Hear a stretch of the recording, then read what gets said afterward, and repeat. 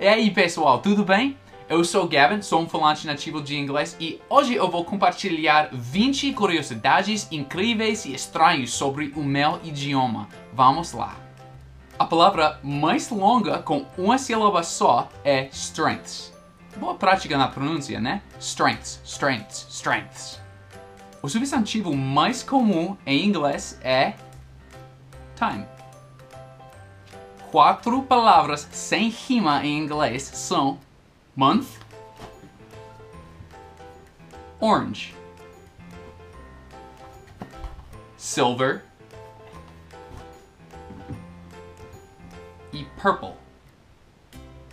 A palavra mais longa em inglês sem vogal normal, a, e, i, o, u, é rhythms. A palavra mais longa na língua inteira e que não se trata de química ou medicina, seja a maioria dos falantes nativos conhecem, tem 32 letras e é Anti-Disestablishmentarianismus.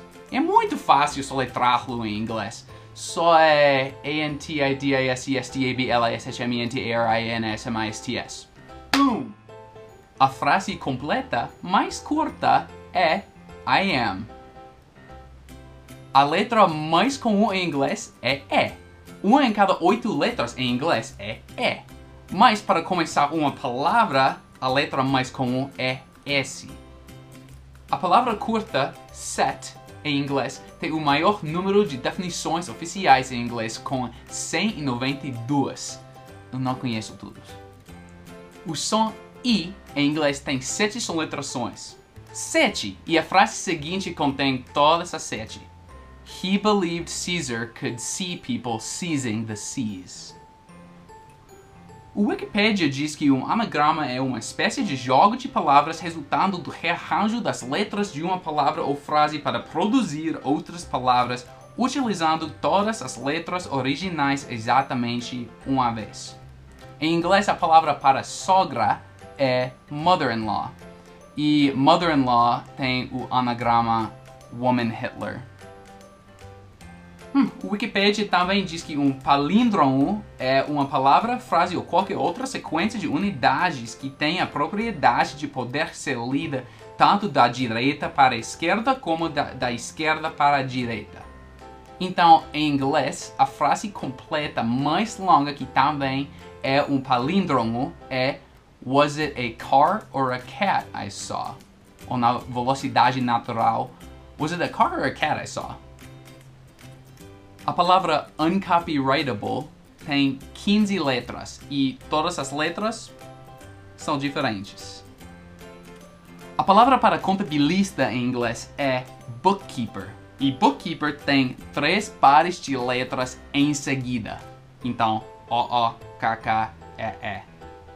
A única palavra com cinco vogais em seguida é queuing.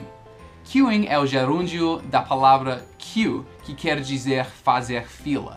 E queue é mais comum em Inglaterra. Aqui nos Estados Unidos a gente normalmente usa o verbo frasal line up. Line up. A seguinte frase faz sentido em inglês. Buffalo, buffalo, buffalo, buffalo, buffalo, buffalo, buffalo, buffalo. Eu lhe juro, olhem abaixo na descrição. Também é possível ter a palavra had 11 vezes em seguida em inglês, com pontuação na mesma frase. É James, while John had had had, had had had had, had had had had a better effect on the teacher. Uma foda. A gente só tem duas palavras que terminam com G-R-Y e são os adjetivos angry, ou zangado, e hungry, ou com fome. Mas hoje em dia jovens gostam de usar uma palavra, palavra nova que é hangry. E hangry quer dizer quando uma pessoa fica zangado porque ele está com tanta fome. A forma plural da palavra man é men. A forma plural da palavra woman é women. Mas a forma plural da palavra human é humans. Não sei porquê em inglês, uma frase que contém todas as 26 letras do alfabeto para testar um teclado ou algo assim se chama um pangram. O pangram mais comum em inglês é The quick brown fox jumped over the lazy dog. Então, a última curiosidade é terrível. As letras O, U, G, H em seguida numa palavra em inglês têm nove pronunciações. Então, a frase seguinte tem cada das nove. A rough-coated, dough-faced, thoughtful plowman strode through the streets of Scarborough. After falling into a slough, he coughed and hiccuped.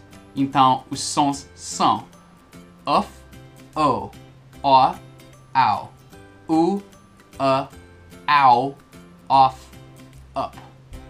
Eu sinto muito para ter que aprender inglês. Então, amigos, é isso aí. Eu tenho muitas dicas de inglês no meu canal. Inscrevem-se abaixo e a gente se vê em breve. Muito obrigado por assistir. Tchau, tchau.